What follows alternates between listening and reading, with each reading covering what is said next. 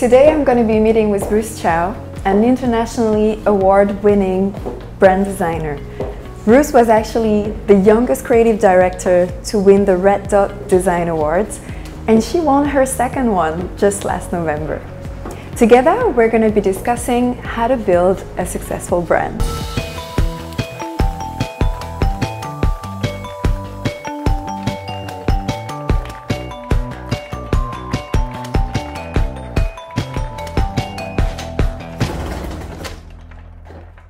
So Ruth, you've led your team uh, to win over 40 awards in the past three years from the States, from uh, the UK, Italy and more. Can you share with us your top tips to build a successful brand? First of all, uh, thank you Ines for inviting me. I'm very happy to be here to be sharing some of the experiences that I've had in the past that I hope can help entrepreneurs, business owners, or even creatives to build a successful brand. And on the first three tips, I say the most important thing is to know yourself, to know your brand, and to understand it to the very core. And the second, once you do, is to be able to whittle down uh, the key attributes of your brand um, to every single touch points. And the third is to have all of these touch points work collaboratively to create a um, holistic um, experience for your consumer. And a lot of clients would ask me, how do you do that? Like, how do you make sure that you understand your brand properly or that you have all your key attributes laid out um, that is unique to your brand? You know, traditionally we look at the four P's of uh, brand building and marketing. Mm -hmm. And in there we have first the product, the place, the price, and the promotion. So those are the four P's. To elaborate a little bit more, the product is um, well, you're either digital, physical, or a service that you're trying to sell to your customer. Um, the second, which is the place. So traditionally you have very fixed avenues at which you can sell to your customers. And third is the price. Self-explanatory, but based on, let's say, SWOT analysis, competitive analysis, you know where your brand stands uh, in comparison to your competitors, and you place yourself accordingly. And the fourth is the promotion. Uh, promotion is marketing and advertising campaigns. Since then, as we know, uh, we have the technology, we have digitalization, we have social media marketing. What I particularly love is the new study by Christopher Graves, um, and he basically revolutionized the four P's into the four E's. Right. So it's it's similar, but it's adapted to our times. For example, from product, it becomes experience. So now it's no longer enough to just think of it as one physical product or one thing on its own. You really have to design it as if it's the whole customer experience. Absolutely. From how somebody comes across your product, to how they are learning more about it, to maybe considering the acquisition of your product, mm -hmm. and then the actual product itself, for example, delivery, customer service, and after sales care, for example. So how you structure or design the entire journey is what will create the brand experience, and that becomes the first pillar. The second, um, from place, has become every place.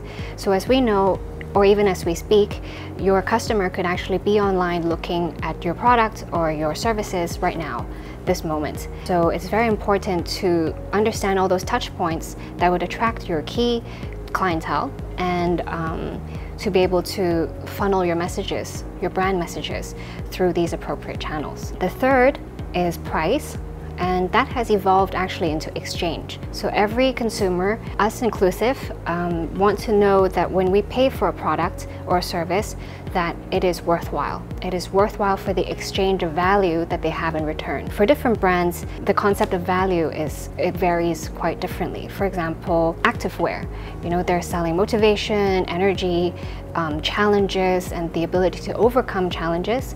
For, let's say, wellness brands, it's all about the organic quality, the green, the social responsibility, taking care of yourself, self-care, self-love, that sort of theme. For, let's say, travel or hotels, um, it could be the concept of an escape or journey, um, changing a frame of mind or a new perspective. Um, exploration, for example. Luxury brands, um, exclusivity, style, influence, power, things like that. So depending on which brand or which sector you are or what personality your brand has, um, it would communicate very different values to your consumer. So to be able to understand what your consumer values most, um, capture it and deliver it to them will make your brand a lot more successful. And that brings us to the fourth point, which is uh, from promotion, now it becomes evangelism. Evangelism essentially means uh, word of mouth.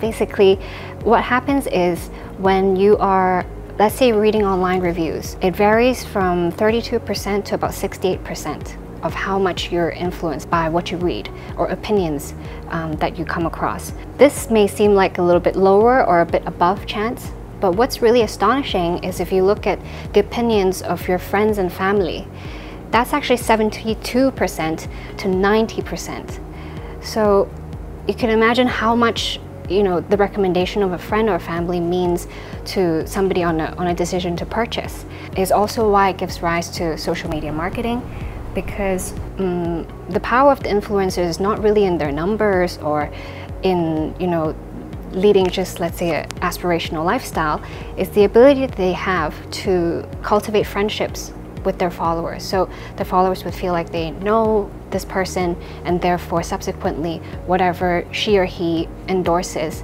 it has the same power as if a friend is recommending it to you. Absolutely agree. It's like nowadays I don't do any purchase without showing it to all my friends or yeah, my family. It's and so important. It to have feedback from them and maybe you know, it's all a, a kind of experience on Absolutely. its own. And depending on these um, four pillars, basically, these four E's, if you grab your, let's say, top management, your brand team, your marketing team together, and you really map out and design these four pillars together to really communicate what your brand is about or what you are about as a founder, um, that is really the true recipe. The key to success, yeah. Yes, to build Absolutely. a successful brand, yeah. really good tips. So as an entrepreneur, um, what could you share to other entrepreneurs who are watching us mm. um, on how to actually build a sustainable business? Well, um, I think of life a little bit like a marathon, um, and so is work. Um, it's really easy to um, give your 2000% into work, especially if you're passionate about it and you care very much about it. And I think for a lot of entrepreneurs, um, because we're usually high achievers, like we want to do well in our field, we want to make sure we deliver the best to our customers, to our clients. I used to focus too much into work that I probably neglected to have a very good work-life balance. And throughout the years, I've found that actually the better you take care of yourself, um, your life as a whole, um, the more you actually have to give back to your work. And it could come in a very um, different way for different people. It could be eating healthier, it could be sleeping a little earlier, it could be spending enough time with friends and family, um, paying attention to what you need. One thing that I particularly enjoy doing now, uh, I started doing it uh, this year actually, is to wake up very early. Um, I actually wake up at 6 a.m most of the time and um, it helps to center my mind before everything else happens. Before an email comes in, before a project changes, before you're pulled into so many different directions, I would give myself the time to stay centered within myself first. And I have found that um, after doing that, it, it, your entire attitude to whatever happens during the day um, significantly improves. And I think that um, for entrepreneurs, it's even more important because it's not just about the first two years. Absolutely. Right? It's, it's a long ride. Long, long ride. Full of up and downs. Yes. And, and I agree with you. Sometimes you feel so overwhelmed with what's happening during the day. Having the strengths and your inner strength really mm. um, to face that is important yeah. and spending mm. enough time to take care of yourself is so important. Having been in my 30s now, the goal or the finish line, so to speak, more times than before, you start to realize that actually the finish line or reaching your goal part is actually 5% of the whole journey. So if that's the only part that you really enjoy, you will not be enjoying life very much. The trick I think is to hack the system and to actually try to enjoy that 95% of the time. And by enjoying, I think the key thing is the work-life balance. So Ruth, I think you shared with us a lot of really good tips and your journey is really inspirational. I would love Thank to you.